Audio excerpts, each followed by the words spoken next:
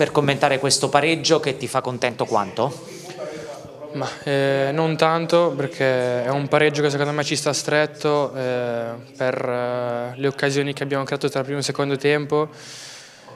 Abbiamo sofferto un po' le loro ripartenze, loro praticamente facevano solo quello, aspettavano un nostro errore per poi ripartire in contropiede, però è un pareggio che ci sta un po' stretto. Ecco, hai detto loro aspettavano i nostri errori per ripartire in contropiede, nei primi 20 minuti ne avete fatti troppi, perché? Ma eh, non so dirti il perché, però sicuramente abbiamo sbagliato un po' troppo all'inizio dove abbiamo preso anche gol, eh, sicuramente sarà una cosa su cui dovremo lavorare. Stasera il Pescara è riuscito anche a verticalizzare poco per l'area di rigore avversaria, quello che chiede soprattutto a te Zeman un tocco, massimo due, andare in verticale. Ti è mancato il tempo della giocata?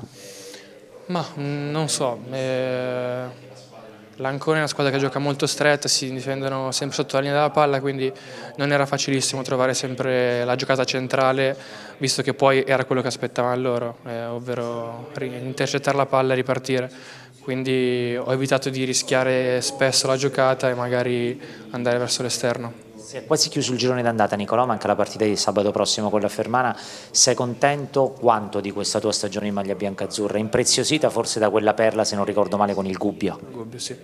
Ma sono contento perché sono contento in primis di essere arrivato qua a Pescara, che è una società importantissima. Sono contento che comunque sono riuscito a ritagliarmi il mio spazio, ma sono consapevole che posso dare molto di più e, e cercherò di farlo partita dopo partita. Diamo l'auricolare a Nicolò Squizzato che vi ascolta per una domanda da studio studio, eccolo. Sì, buonasera Niccolò, allora, domanda di Fabio Ferraresi. Buonasera. No, io prima dicevo che oggi forse abbiamo sofferto qualcosina perché ci siamo un attimo allungati e tu chiaramente sei stato quello che, che ha subito un po' di più no, questo fatto perché dovendo spesso uscire in avanti hai perso qualcosina di lucidità quando avevi la palla, non so se sei d'accordo.